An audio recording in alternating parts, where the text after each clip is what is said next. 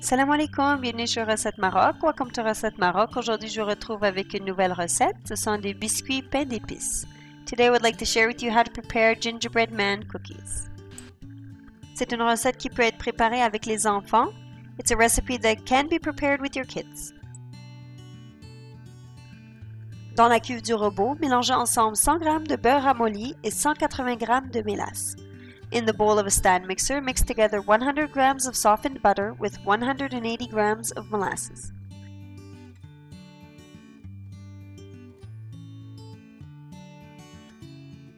Ajoutez 55 g de cassonade ainsi que les épices, une demi-cuillère à thé de clou de girofle moulu, une demi-cuillère à thé de muscade, une cuillère à thé de cannelle et une cuillère à thé de gingembre.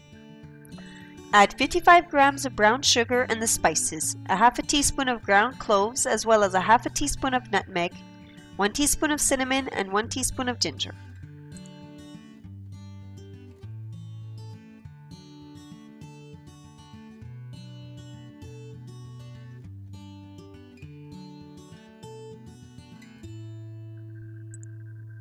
Lorsque tout a été ajouté et mélangé, arrêtez l'appareil.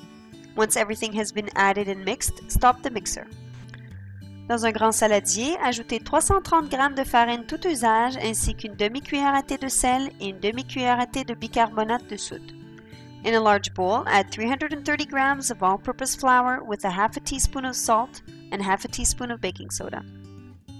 Incorporez la farine au premier mélange en trois fois tout en mélangeant entre chaque ajout. Add the flour to the first mixture in three additions, mixing in between each addition. Au fur et à mesure que vous ajoutez la farine, le mélange va s'épaissir et deviendra un peu plus difficile à manier. Il faudra que la farine soit complètement incorporée au mélange. The more you add the flour, the mixture will thicken and become harder to work with. The flour needs to be completely mixed in with the rest of the ingredients.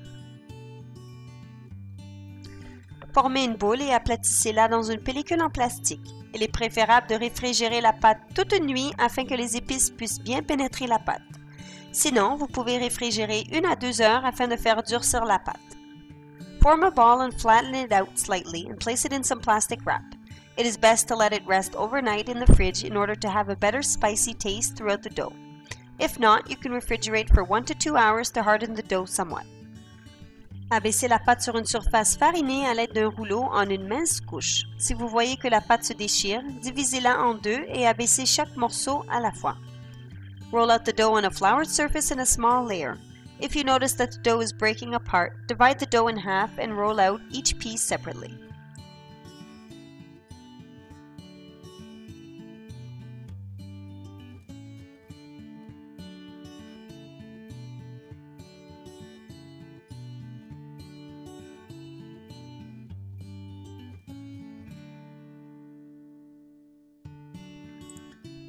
Utilisez des emporte-pièces de bonhomme pain d'épices. À défaut, utilisez d'autres formes comme des cœurs ou des étoiles, etc. Use a gingerbread man cookie cutter. If you don't have one, you can use any other ones you do have like a heart, a star, etc.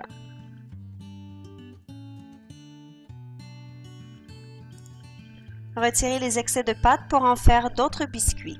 Remove the excess dough and this will be used to make more cookies.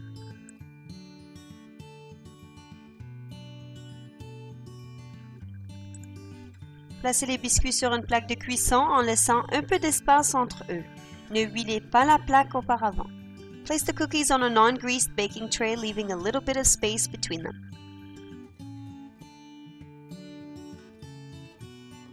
Pour décorer les biscuits, vous pouvez insérer des petites billes de sucre pour les yeux avant la cuisson, sinon décorer par la suite avec de la glace royale comme montré dans la vidéo. To decorate the cookies, you can insert little sugar pearls for the eyes before baking, or else decorate afterwards with some royal icing as shown in the video. Faites cuire au four préchauffé à 350 Fahrenheit ou 180 Celsius pendant environ 6 minutes. Lorsqu'ils sortent du four, ils seront légèrement mous, mais vont durcir par la suite. Si vous les laissez beaucoup plus longtemps, ils vont brûler et ne seront pas bons.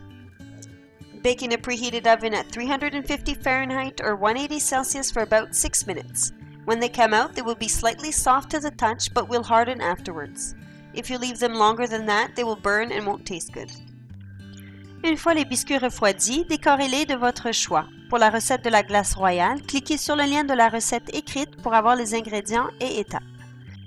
Once the cookies have cooled down, decorate them however you wish. For the recipe of the royal icing, click on the link to the recipe and you will have the ingredients and steps.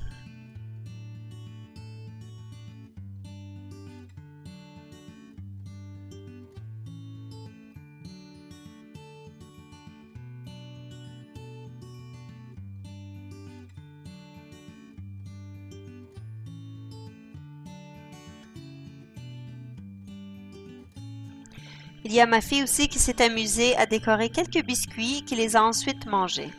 My daughter was also having fun decorating some of the cookies and eating them afterwards.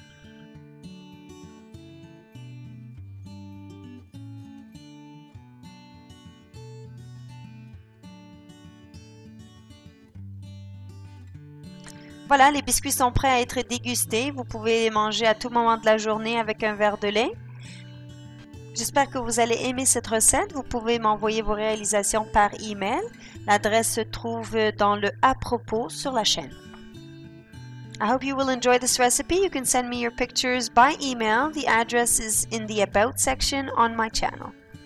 N'oubliez pas aussi de vous abonner à la chaîne pour en rester informé dès que je publie une autre recette. Je vous dis bon appétit et à très bientôt. Don't forget as well to subscribe to the channel to be informed once I publish a new recipe. I hope you enjoy and see you soon.